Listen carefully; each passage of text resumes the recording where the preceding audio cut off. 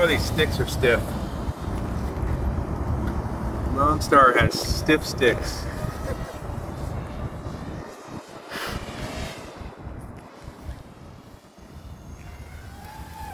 Oh gosh, no. Talk to you do have stiff sticks. I, I wouldn't say anymore, Kelly. He's got a, a he's got a blade to your neck, That's basically. Not a, that's not a. Uh, okay. I'll be quiet. Just just be quiet. yeah. That would be the smart move.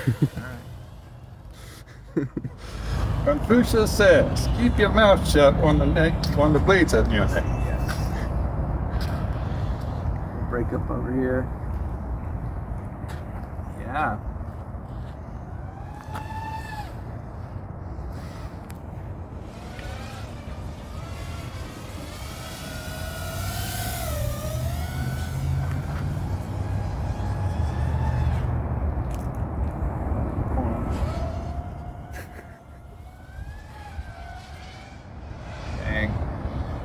Goes.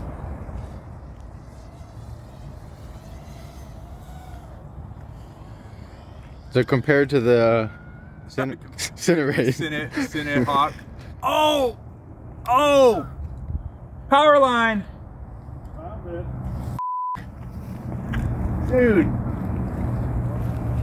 Ah! That was a whack. Sorry.